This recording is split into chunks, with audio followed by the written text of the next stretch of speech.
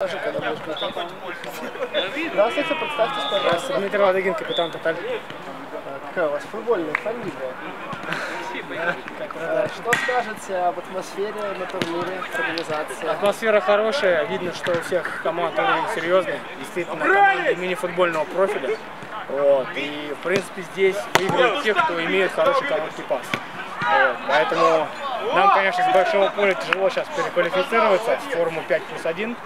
Вот. Поэтому будем стараться. Для нас это большой вызов и очень сильный а, как сказать, вызов нашей техники, для того, чтобы ее улучшить. Вашей команды есть опыт выступления на больших Да, мы играем в ЛФЛ э, в формате 7 плюс 1 на большом поле, на больших воротах. И поэтому считаем, что этот формат для нас вызов принципиально новый уровень.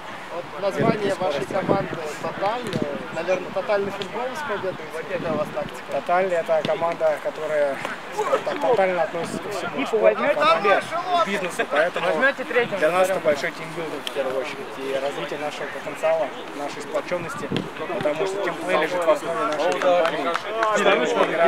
Вот, это для нас Нет, без, без разбега. Перспективы? Здесь видим, э, планируем занять сре- где-то в середине турнирной та- таблицы четвертое место для нас будет хорошо, потому что в мини-футболе мы не сильны. Вот, и здесь, конечно, ребята подготовлены именно под мини-футбол.